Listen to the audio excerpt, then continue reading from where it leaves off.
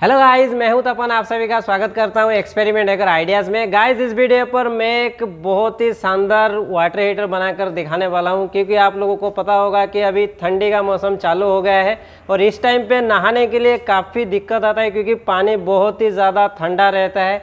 तो इसके लिए नहाने में हमें प्रॉब्लम होता है। इसलिए मैं एक बहुत ही यूनिक सा एक वाटर हीटर बनाकर आप लोगों को दिखाने वाला हूँ। वीडियो को एंड तक देखिएगा, काफ़ी मज़ा आने वाला है और चैनल को सब्सक्राइब नहीं किया तो प्लीज़ चैनल को सब्सक्राइब कर लीजिए। तो गाइज़ ज़्यादा बकवास नहीं करेंगे, बिना देरी किए वीडियो को स्टार्ट करेंगे।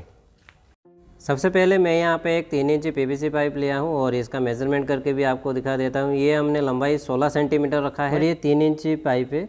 और इसके हिसाब से हमने दो पीवीसी सीट राउंड शेप में कट करके ले लिया हूँ और इसको अब साइड में रखते हैं। एक हमने एक वाटर हीटर लिया है। ये 500 वाट का वाटर हीटर है। ये 220 वोल्ट से डायरेक्ट काम करता है। तो इसको हम इसमें यूज़ करेंगे। ये काफ़ी ज़्यादा गर्म हो जाता है। ये बहुत ही सस्ते में भी आता है। तो फटाफट से उसका जो बॉडी है, उसको खोल लेते हैं। हमें खाली एलिमेंट चाहिए। तो ये वाला एलिमेंट हम लेंगे। तो ये जो एलिमेंट है, काफ़ी सस्ते में मिल जाता है मार्केट से सिर्फ़ सौ रुपये के अंदर ये मिल जाता है। तो इस एलिमेंट को पीवीसी सीट के ऊपर रख के हमें इस तरह मार्किंग कर लेना है और जो मार्किंग किया हुआ जगह को हमें होल कर लेना है।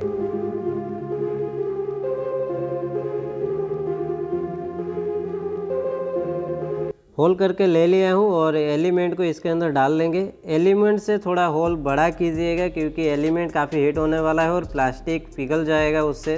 उसके टच में रहेगा तो। इसलिए हमने इसका जो होल है थोड़ा बड़ा किया है और इस यहाँ पे हमने एम लिया है। दोनों एम को अच्छे से मिला लेंगे।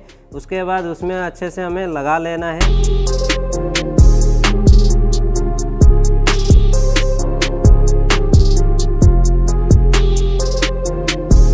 गाइज़ एम को काफ़ी बढ़िया तरीके से दोनों तरफ़ लगा लिया हूँ। गाइज़ इसको अभी रखना पड़ेगा सूखने के लिए। कम से कम आठ दस घंटा रखना पड़ेगा, तभी ये स्ट्रांग होगा। घर में जो इलेक्ट्रिक वायरिंग होता है, उसका पाइप से मैं दो पीस काट कर लिया हूँ। एक को एल शेप में बनाया हूँ। एल शेप में बनाना काफ़ी ईजी है। आपको थोड़ा तिरछा काटना पड़ेगा तो एल शेप में बन जाएगा।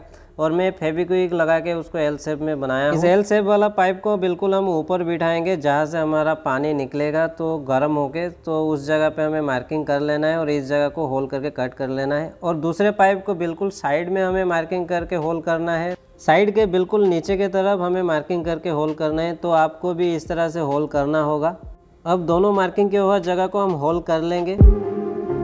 होल करके ले लिया हूँ। एक नीचे के तरफ़ किया है, एक ऊपर के तरफ़ किया है और ऊपर के तरफ़ एल के में हमें इस तरह से लगाना है। एल शेप काफ़ी टाइट में जा रहा है और ये थोड़ा लूज़ है, कोई बात नहीं, हम इंस्टेंट ग्लू लगा के इसको अच्छे से सेट कर लेंगे। इसमें एयर डाइट लगा के बिल्कुल सील कर देंगे। एयर डाइट लगाने से क्या होगा, हमारा जो पानी है बिल्कुल भी लीकेज नहीं होगा, बिल्कुल सील हो जाएगा। तो थोड़ा थोड़ा एयर डाइट हमें लेना है और दोनों को अच्छे से मिलाना है। उसके बाद अंदर बाहर दोनों तरफ़ अच्छे से हमें लगा लेना है।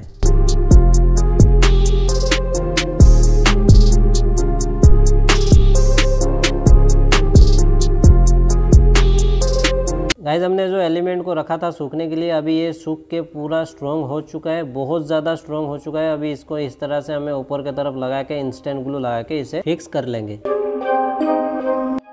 अब क्या करेंगे? नीचे वाला ढक्कन को भी हम लगा के इंस्टेंट ग्लू से इसे भी फिक्स कर देंगे। अब हमने एक पीवीसी पाइप का कनेक्टर लिया है। आप देख सकते हो, इस कनेक्टर को हम इस जगह पे बिठाएँगे। इसका मेज़रमेंट मुझे सही से नहीं पता। आप अपने हिसाब से लीजिए, क्योंकि ये शायद पौना इंची और डेढ़ इंची पीवीसी पाइप का रहेगा। तो ये हमने एक पावर कॉर्ड लिया है। इससे हम पावर इनपुट करेंगे इसमें। तो हमने एक एलईडी लिया है, ये थ्री वोल्ट का एलईडी है तो इसके लिए हमने एक 120 किलो ओम का एक रेजिस्टेंस जोड़ा है और फोर डबल ज़ीरो सेवन का एक डायोड भी जोड़ा है। तो आपको भी इसी तरह से एक एलईडी लेना है और इसमें ये दोनों को लगाना है, नहीं तो ये 220 वोल्ट में एलईडी ख़राब हो जाएगा। तो ये दोनों वायर में हमें दोनों एलईडी का वायर को कनेक्शन कर लेना है।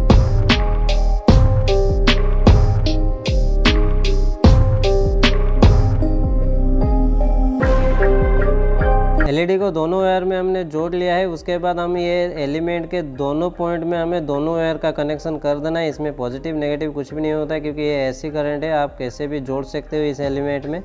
तो अब ये एलिमेंट में हम सोल्डरिंग नहीं करेंगे, क्योंकि बहुत ज़्यादा हीट होगा तो सोल्डरिंग निकलने का चांसेस रहता है। इसलिए यहाँ पे हमने कॉपर वायर लिया है और कॉपर वायर से अच्छे से इसको प्लायर से टाइट कर देंगे और दोनों तरफ़ हमें कुछ इसी तरह से दोनों तरफ़ कॉपर वायर से बाँध के हमें प्लायर से टाइट कर लेना है और अच्छे से टाइट करना है ताकि बाद में ना निकले वायर और काफ़ी अच्छे से हमने कनेक्शन कर भी दिया है और अब क्या करेंगे, ये जो एलईडी है इसके लिए यहाँ पे हमें एक होल करना पड़ेगा तो फटाफट से इसके लिए होल कर लेते हैं।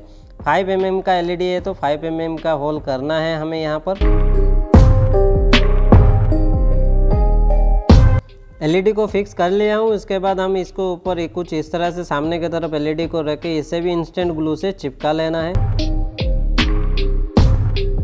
गाइज़ वायर काफ़ी लंबा है तो इतना लंबा वायर नहीं रखेंगे तो यहाँ से कट कर देंगे तो आधा वायर ही हम ले रहे हैं यहाँ पे, और ये जो टू पिन प्लग है, इसमें हम लगा देंगे। तो लगाने से पहले हमने एक पीवीसी सीट काट कर लिया है, और इसके बीच में एक होल भी किया है, ऊपर के हिस्से में पैक करने के लिए। तो वायर के अंदर से हम इस सीट को डाल लेंगे, और इसे इंस्टेंट ग्लू लगा के अच्छे से हम इसको सेट कर देंगे। उसके बाद ये जो टू पिन प्लग है, इसको फटाफट से खोल लेंगे, और वायर में इसको लगा लेंगे।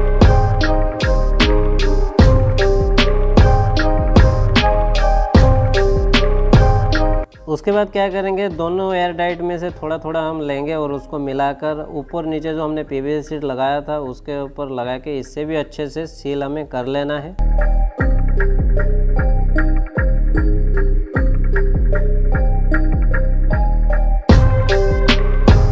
गाइस एयर डाइट सूख चुका है। आप देख सकते हो हमारा जो वाटर हीटर है, बिल्कुल बनकर रेडी है और इसको हम बाहर लेके जाएँगे टेस्टिंग के लिए। तो इसके लिए मैंने यहाँ पे एक क्लाम्प जैसा बनाया है पीवीसी सीट से इसको वॉल में माउंट करने के लिए। तो इसको फटाफट से बाहर लेके जाते हैं। गाइज़ मैं घर के छत में आ चुका हूँ आपको टेस्टिंग करके दिखाने के लिए। यहाँ पे हमने पानी का कनेक्शन कर दिया है। यहाँ से हमने पाइप के थ्रू वाटर हीटर में पानी देंगे। और वाटर हीटर को यहाँ पे हमने वाल पे माउंट कर दिया है और यहाँ से हमने इसको पावर कनेक्शन कर दिया है। ये 220 वोल्ट हम इसमें इनपुट कर दिया है। अभी इस स्विच को हम ऑन करेंगे। स्विच को ऑन करते ही ये जो वाटर हीटर है, चालू हो जाएगा। यहाँ पे ये जो एलईडी है, ये जलना स्टार्ट हो गया है। आपको कैमरा में दिख रहा होगा कि ये ब्लिंकिंग कर रहा है, लेकिन ऐसे ब्लिंकिंग नहीं कर रहा है, क्योंकि ये 220 वोल्ट में डायरेक्ट जल रहा है। इसलिए कैमरा में दिख रहा होगा कि ये फ्लक्चुएट कर रहा है। अब इसके अंदर पानी है, थोड़ा टाइम इसको गर्म होने देते हैं, इसके बाद इसको ऑन कर देंगे। तो यहाँ से पानी आना चालू हो गया है। काफ़ी ज़्यादा गर्म निकलना स्टार्ट हो गया है पानी, बहुत ज़्यादा गर्म है और इसको हाथ लगाने के लिए नहीं हो रहा है। अब इस डिजिटल टेम्परेचर मीटर में आपको चेक करके दिखाएँगे। अभी जो टेम्परेचर 27.1 दिखा रहा है, अभी कितना टेम्परेचर इसका जो पानी आ रहा है वो दिखाएँगे आपको। और ये धीरे धीरे बढ़ना स्टार्ट हो गया है, आपको दिखा दूँ, ये 58 तक आ गया क्योंकि बहुत ज़्यादा गर्म है, पानी 60 तक आ गया आपको देख सकते हो। अभी ये थोड़ा सा ठंडा हो गया है पानी, इसलिए थोड़ा कम दिखा रहा है।